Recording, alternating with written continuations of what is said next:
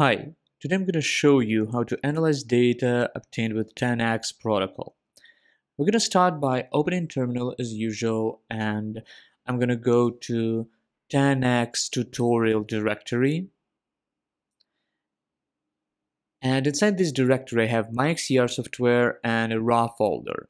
Now in the raw folder I have multiple FASTQ files that contribute to one sample it is quite common when a single sample is split between multiple FASTQ files, when sequencing was performed on multiple lanes as you can see here by the number after letter L, and also this sample has been split on different Illumina indexes, which you can see by the number after letter S. This is a quite common case in 10x derived data and all of these files has to be processed simultaneously. And I'm going to start the command by providing path to MiXCR, then analyze and the name of the preset is 10x SC XCR VDJ, which is a dedicated preset for 10x VDJ protocol. This preset requires the name of the species, so I'm going to provide it with the following parameter, and it's a human data set, so I'm going to type human here. Now, the next thing is to provide the list of input files, and instead of providing this long list of files that we have here, I'm going to use wildcards that allow to use a short pattern to provide numerous files to MiXCR simultaneously. I'm going to start with the raw folder, then the common name which equals for all of the files, b cell sample 1 underline 1.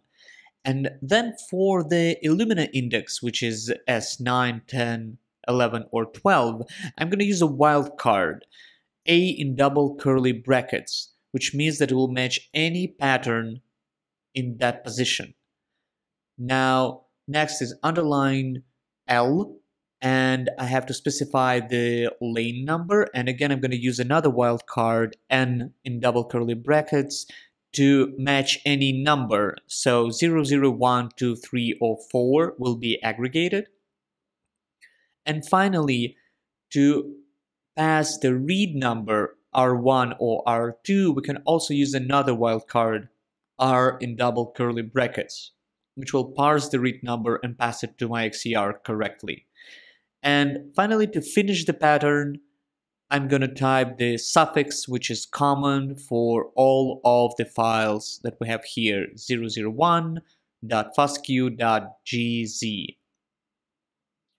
Now I'm going to put the output files in the results folder and I will also specify the output prefix bcell sample 1.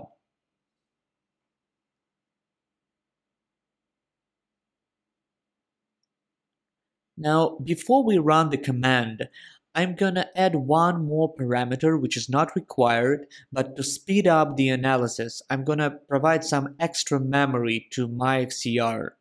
I'm gonna do that with the parameter minus xmx, and I'm gonna provide 100 gigabytes of memory.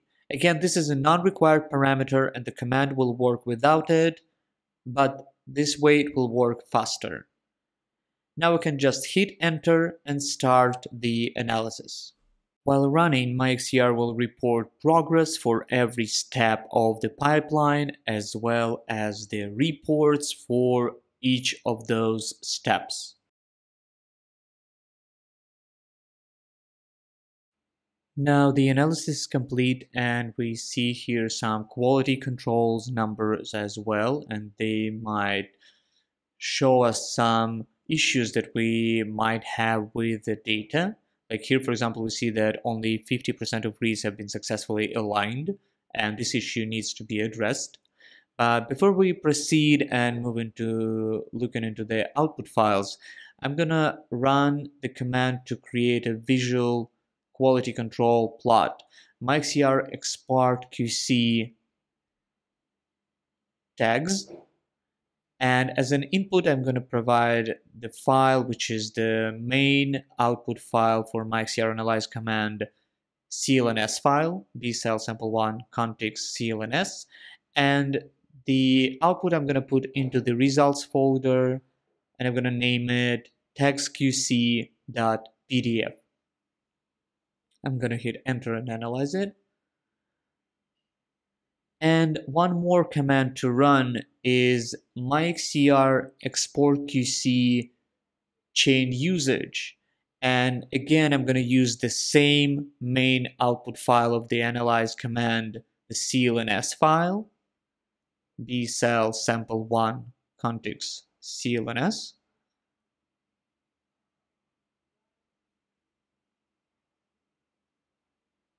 And the output I'm also going to put into the results folder and I'm going to name it chain usage QC PDF. Hit enter, run it, and that's it. Now we can close the terminal and now we can open the folder with Finder where we have all our files right here. If we look into the results folder, we see all of the files that were produced by MiXCR analyze command. And I'm going to start by opening chain usage QC PDF. And here we see the distribution of different chains. And we see that about 45% of clones belong to heavy chain and another 55 share two types of light chains. Now we can close this plot and open the tags QC PDF. And here we see several PDFs regarding the filtering.